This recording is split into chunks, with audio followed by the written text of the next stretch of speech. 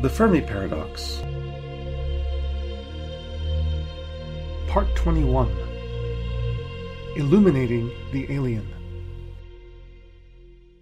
Arguably the most famous attempt to plot the path taken by a society from technology to virtual magic is the Kardashev scale. Nikolai Kardashev, currently deputy director of Moscow's Astro Space Center, conducted the Soviet Union's first SETI program in 1963. However, he realized that in order for a civilization to produce radio signals on par with those of the galaxy, and thus detectable by us, such beings would have to be able to manipulate energy levels far in excess of human capabilities. In 1964, he developed a yardstick for quantifying the technological development of a hyper advanced civilization based on energy consumption. Type 1 Kardashev defined a Type 1 civilization as having an energy consumption level close to our own, at 4 trillion watts per year. This figure has been criticized as too conservative, since global energy consumption is now 1.5 trillion watts per year, and we are likely to surpass that number within 40 years. A more recent formulation defines a Type 1 civilization as one capable of harnessing energy equivalent to that which the Earth receives annually from the Sun, giving a more distant figure of between 10 and 100 quadrillion watts per year, or up to 60,000 times our current usage. Type 2. A Type 2 civilization is capable of harnessing all the energy produced by its star, equivalent to 400 septillion watts per year for a star like the Sun. Type 3. A Type 3 civilization will be able to harness the energy equivalent of our entire galaxy, or 40 undecillion watts per year. In case you are wondering, an undecillion is a 1 with 36 zeros after it. Initially, Kardashev made no actual predictions as to what such civilizations would be able to accomplish with their power. He was only interested in how it applied to radio communication. Scientists, science popularizers, and science fiction writers, on the other hand, have had a field day, dreaming all manner of cosmic engines and monuments. Science broadcaster Michio Kaku who has done much to popularize the Kardashev scale in recent years, argues that a Type 1 civilization will have enough energy to control weather, moderate plate tectonics to control earthquakes and volcanoes, and build cities on the ocean floor. To describe a Type 2 civilization, Kaku turned to one of the great visionaries of modern physics, Freeman Dyson. Dyson's scientific work is notable in itself.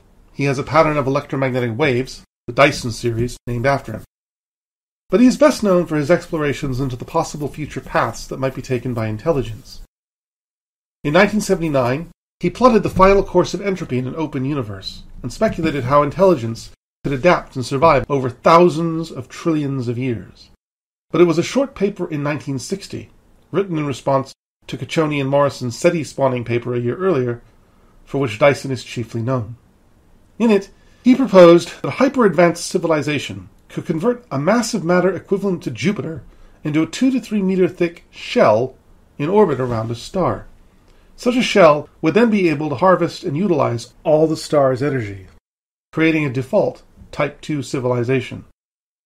Despite initially calling it a shell, Dyson envisioned this structure as a swarm of independent islands, each with a continent sized population, as a true shell around a star is structurally impossible.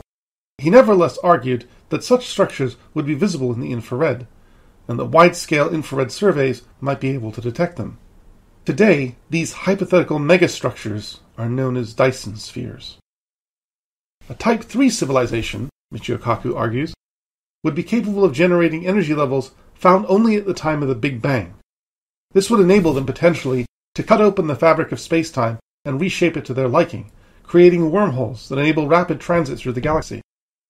Colonization would be aided by so-called von Neumann probes, self-replicating machines that could land on dead asteroids or moons and consume their materials, using them to copy themselves by the thousand, spreading exponentially through the galaxy in as little as half a million years, inventorying every habitable planet as they go. Von Neumann probes may even evolve as they reproduce, perhaps to the point of sentience. Some thinkers on the outer edges of SETI have suggested that searching for von Neumann probes in our own solar system in a similar manner to the astronauts finding the monolith on the moon in the movie 2001, might be a faster route to first contact than sifting through radio signals. However, the existence of von Neumann probes has been challenged on the same grounds on which Hart challenged the existence of intelligence itself.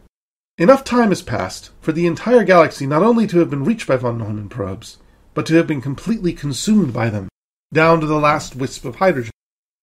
We're still here.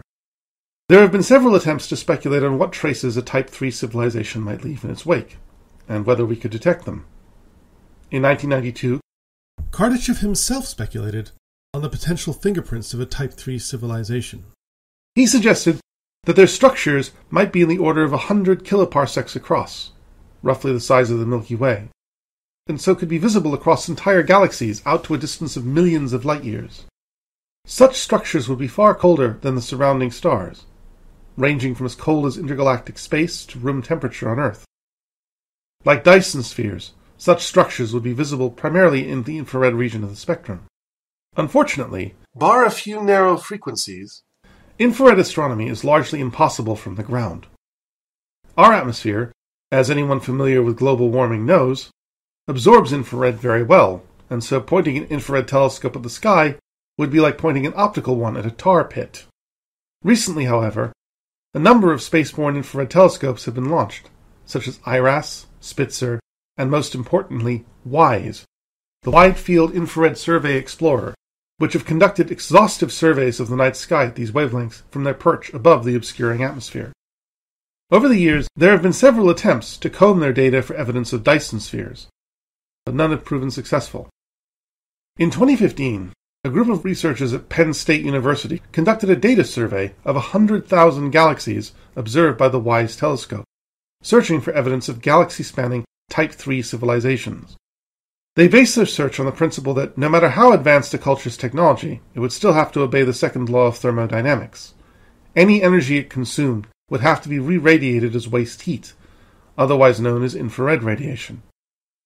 The team argued that, far from being proof that we are alone in the universe, Hart's argument led only to two possible outcomes. Given the short time needed for pan colonization, either our galaxy is full to bursting with alien intelligence, or other galaxies must be. To assume otherwise is to assume that we are, as a species, privileged.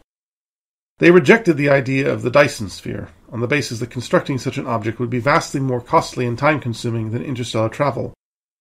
Our farthest space probes are only a few thousand times closer than our nearest star, but our solar energy coverage is currently 100 quadrillion times below total capture. The survey, called Glimpsing Heat from Alien Technologies, or GHAT, searched primarily for excess infrared as a proportion of the light from the stars in a galaxy, which would be the energy available to a Type 3 civilization. The end result was that no excess heat was found greater than 85% the energy of the stars, and out of the 100,000 galaxies studied, only 50 produced results that could not be immediately ruled out.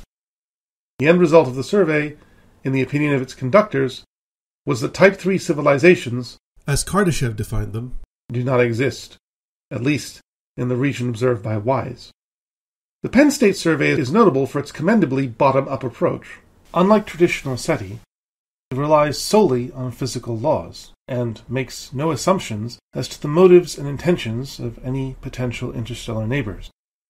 And yet, as Jason Wright, one of the conductors of the survey, noted, it is in danger of searching for an alien of the gaps, appealing to intelligent design simply because you cannot explain an observation naturally. But more profoundly, like all SETI projects, the survey still employs assumptions based on the technological development of beings incomprehensibly more advanced than we are.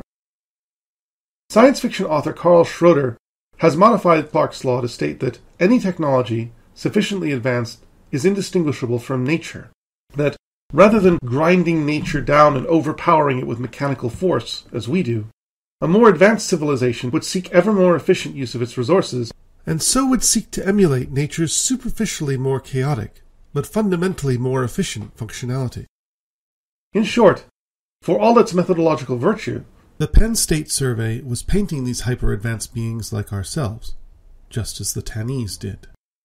Even Sagan, who was happy to give very human motivations to every alien culture he conceived, noted in his response to Hart, quote, the manifestations of very advanced civilizations would be no more apparent to us than the design and function of human engineering artifacts are to ants crawling upon their surfaces.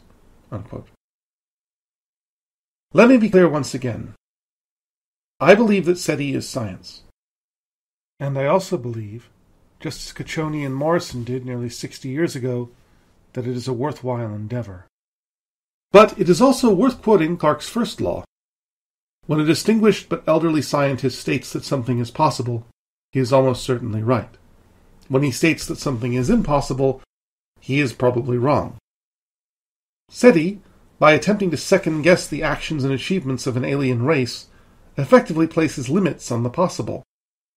This is understandable, because without limits or barriers, everything becomes possible, and science loses its ability to explain and predict, collapsing into a morass of the miraculous. But again, science is least comfortable when forced to view the world from the top down. And with steadily advancing bottom up projects like Kepler encroaching on its territory, one wonders if it will ultimately be SETI that will offer the final answer to Fermi's perplexing question. It's been a long road. But, if you hang around for the final chapter, I have a few more things to show you.